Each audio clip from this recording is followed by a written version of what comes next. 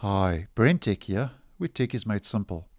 I've been posting some videos over the last couple of months regarding the floating desktop web widget that Microsoft is trying out and testing and experimenting with in the Microsoft Edge Canary web browser. And recently, Microsoft has updated the web widget with the Windows 11 mica material effect, the fluent design, rounded corners, and some other new handy useful features.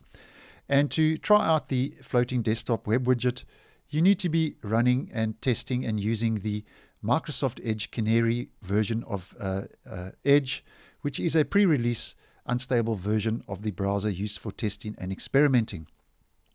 Now, to enable the feature, we just head up to our, our menu in the top right. You click on Settings, and on the left in the Settings menu, you will see Web Widget. And if we click on that, it says Get Search and Personalized News Anytime. Web Widget lets you search and browse the web, see news headlines, check the weather, and more without opening a full browser window. So it's very similar to the News and Interests feed, the taskbar widget that is also found in Windows 10. And here you can launch the web widget straight from this uh, settings page. Automatically open web widget when the computer starts. This is off by default. So if you wanted to launch when you uh, boot up your PC, you can just toggle that on. And you can also personalize the web widget feed straight from the settings page as well. Now I've enabled the feature already. And if we just click on the uh, floating widget, that'll open the web widget. And we can clearly see since the last video I posted a month or so ago that there have been some updates and the Windows 11 look and feel is clearly prevalent. Some rounded corners, the mica effect, and also we have some useful little add-ons now and features that have been uh, placed on the right-hand side of the web widget. And as mentioned, it, it you know it operates very similar to the news and interests feed, where it gives you your top stories, your topics of interests, and if you click on each story, it'll just take you to a more in-depth version of that story in the browser itself. And then on the uh, right here now, we MSN is the default and then you can also get now you have Bing, which will take you to the uh, Bing search engine, the homepage.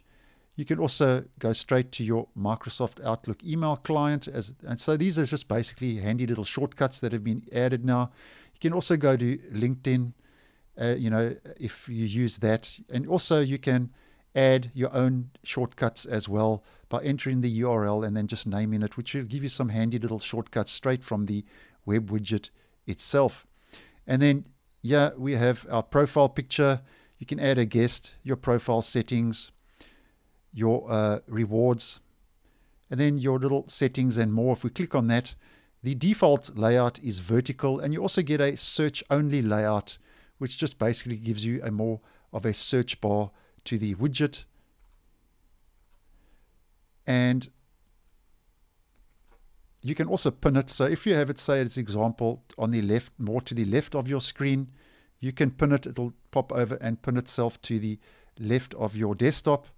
And if you unpin it, and if I drag it over to the right, if it's more on the right and you pin it, it'll pin itself to the right of your uh, desktop as well. And then you can also enable auto hide, which basically just gives you a little taskbar really on the right here to those quick shortcuts. And if this is your type of thing, I think this will be quite handy as um, you know a little uh, panel here on the right of your desktop. And then I just want to unpin that. And then obviously when you minimize it, it pops the floating widget back on your desktop. And you can move this widget anywhere on your desktop um, for easy access. And obviously just clicking on that opens the widget itself. And then the uh, actual floating widget, um, you have some options. If you right click on it, um, this will take you over to the settings page back uh, where we started, where you can, um, you know, just change the when it starts, personalize, and so on. And also, you can actually um, disable and close the web widget. Uh, you can disable uh, the floating button, and you can actually close the web widget itself straight from this little floating button as well. So I just wanted to update you. The floating desktop web widget has received, you know, those um, some Windows 11 uh, material redesigns, visual redesigns, and also some handy little features which, you know, if this is uh, something you use, I think would be handy. And Microsoft has actually put quite a lot of work into this. So this looks like there's a strong possibility that the web widget will actually roll down to the stable version of Microsoft Edge in the near future. So I hope you found this video useful. Once again, thanks for watching, and I will see you in the next one.